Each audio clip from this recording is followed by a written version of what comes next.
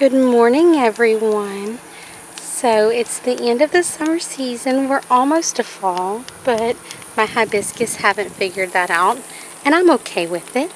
But today we're going to get some veggies chopped up and in the freezer, get our cheese shredded so that we can restock, get dinner going in the Ninja Foodi for tonight, and just get some household chores taken care of. So thank y'all for joining us and we'll see y'all inside.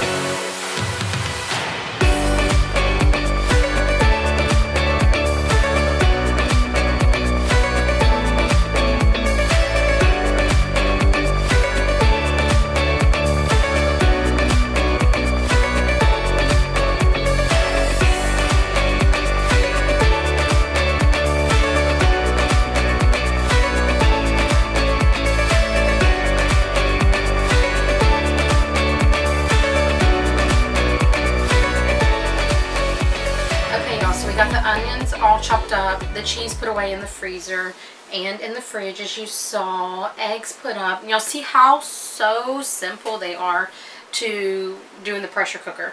I mean, I don't know if I'll ever do it again another way. But out of all of those onions, we got two, four, six bags of yellow onion and one of the red onion. And there's about two onions per bag, so two cups. Um, so this will be a good stock up for just a little while. I did leave half of the red onion. We're using that with our roasted veggies tonight. I'm going to go put all of this in the compost, clean up, and let the camper air out from the onion smell. But I'm going to get these packed away and um, go tend to the chickens and the compost and pull some weeds in the garden. And I will see y'all back after we get showered and cleaned up. So for dinner tonight, we're going to do a little bit of trial and error with the Ninja Foodi just because I'm not as impressed with my convection oven as I was when we first got it.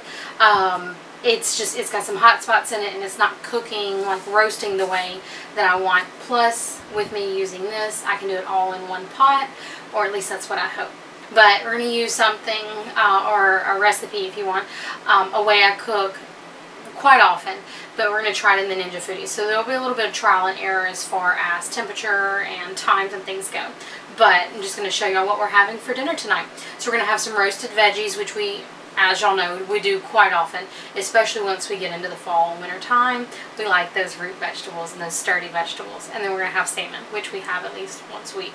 So I've got my salmon setting out. Oh, I need to get my bacon. Um, but our vegetables that we're using today is some butternut squash. We're doing about a pound of butternut squash about a pound, a little less than a pound of Brussels sprouts just because by the time washed and trimmed all the bad parts off of it, there wasn't quite a pound left. A bit of onion just for aromatics and some garlic because I have some and why not. Also using 12 ounces of bacon. The bacon with the Brussels sprouts and the butternut squash, there's just something about that amazing combination that happens. Um, and this is actually how I first got my kids to try butternut squash. They already loved the Brussels sprouts before, but butternut squash was not something that I routinely cooked.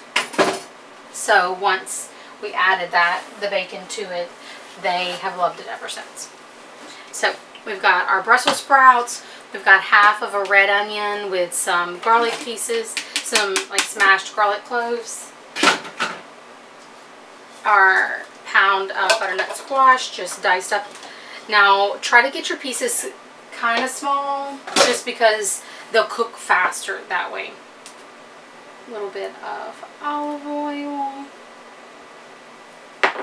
Y'all know I love my Italian seasoning. About maybe two teaspoons of Italian seasoning. Some salt. and some pepper. Now my game plan for this is the Ninja Foodi has a bake roast button. So I'm going to try it at the same way I would in the oven at 425. I'm going to start with about 20 minutes and see if these will cook in there. My goal is that they will cook and um, they'll cook like rather smoothly. I might have to toss them a little bit because it's a smaller surface area. But my goal is that they will cook really well and then I can cook the salmon on top of it. That lasts like 10 minutes or so. Because salmon is really quick. It doesn't take very long at all. I usually make a huge sheet pan, so this might be too much bacon for this small amount this time. Like I cut what I usually do in half. Because usually I do the whole uh, butternut squash and cook it all. But Michael's not home right now and I don't want to waste a bunch of food.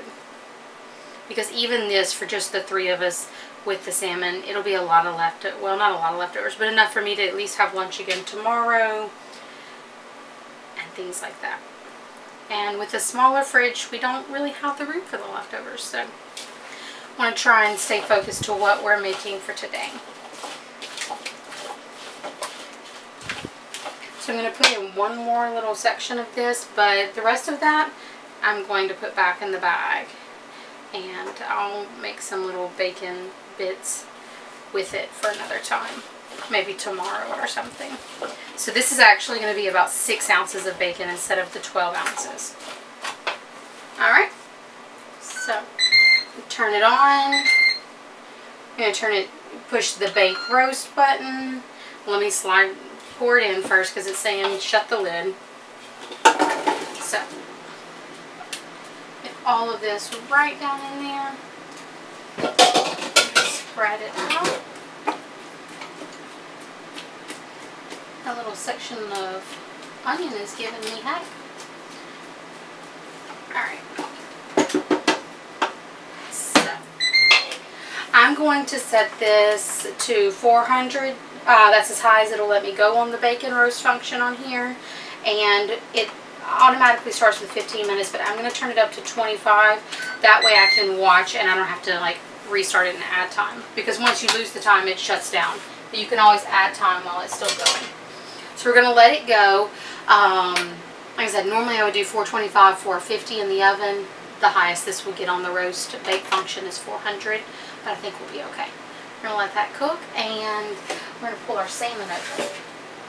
So I did pull um, about half a stick of the sweet cream butter and I added a couple tablespoons of my pesto, like a pre-made pesto to it so that I could make some pesto butter. You don't have to do that, but um, it's really, really yummy. I just have our piece of salmon. We're going to coat it with hmm, some lemon pepper for seasoning. It's, it's all clumped up. And then whenever we get ready, oh, we get ready to, um, like when it looks like this is to its last like 10 minutes or so, then we'll, um, we'll toss this in. So moisture is getting to this somehow. It's probably because it's over the stove and it's not ventilating exactly how it should. That's why it's all like stuck together and crumbly like this.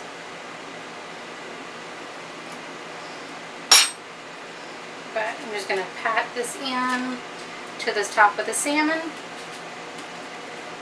I'll add a little bit of salt and pepper to it. And that's really it. Let the salmon speak for itself. We'll put this in, in there when we're about 10 minutes from being done. I'm washing Okay, so it's at about 20 minutes cooked, and I just gave it a stir and tested. The butternut squash is the main thing. It's going to take the longest to cook in this. Uh, I'm just making a little bit of room in it. I'm going to put my rice in. Leave those veggies down in the bottom because we need to continue to cook them. But I'm going to turn this to air crisp mode now I'm going to put our salmon fillet right down in the center. And this is a skin on. I'm going to turn it down to 375 and I'm going to start, well I'm going to put it at 15 minutes, but I'm going to check it at about 8, um, 8 or so minutes to see how it's cooking. And this will continue to cook everything in the bottom of it as well. Um, the only thing I'm really nervous about is some of the pieces of bacon in the bottom. I wish they were more cooked, so maybe this will really get that air flowing and crisp them up. But we will see. We're going to put this in at the very, like, last five minutes or so. Okay, so it's eight minutes in, and it looks pretty good. Um, I know this thicker part is going to take a little bit longer, but we're going to go ahead and top it with the pesto butter. I'm just going to go right down the center. Now, some of this will melt and kind of drip down into the bottom. I'm okay with that. If you don't want the pesto on your veggies, then maybe don't do this part. Just do, the salmon will be just as delicious with just the seasoning. Hmm, so we're going to let that cook a few more minutes and we'll check it and see if it's ready. Okay, y'all. So it's all done. I'm going to pull the salmon out. I try not to burn myself with this thing. And just move it over here to the side. It's going to keep dripping some of that pesto butter. I'm just going to stir this around. Now there are still a few pieces of bacon in here that aren't really my favorite. They're that softer type of bacon. I know a lot of people love it. Just, I'm not a fan. But there are some really beautiful crispy, ooh, crispy pieces as well. I'm trying to knock off the fattier pieces. Like you can see that's just not my um, preference. So maybe some, I need to do smaller pieces of bacon next time or cook the bacon separate. But I really want the bacon in there because it gives the flavor to the, it gives flavor to the Brussels sprouts and uh, butternut squash also. I am going to pick out some of these larger pieces though. I may crisp without the salmon on top. I may crisp a little bit longer for that just before I end up packing it all up. But love it. Love it. Trying to cut straight through so I can show y'all. And yes, I'm cutting with a little um, spatula-like thing. And yeah, dinner is served. Perfect. So I'll have to look back. I think we did 25 minutes on the bacon roast function for the veggies with an extra 15 minutes for the salmon air crisp. I'm game for trying it this way. It, now this still does put out a pretty good bit of heat. So it doesn't take away the heat factor entirely. But one pan and done. I think it's a win for me. Thank y'all for joining us today as we went along on our adventures and we'll see y'all next time. Bye.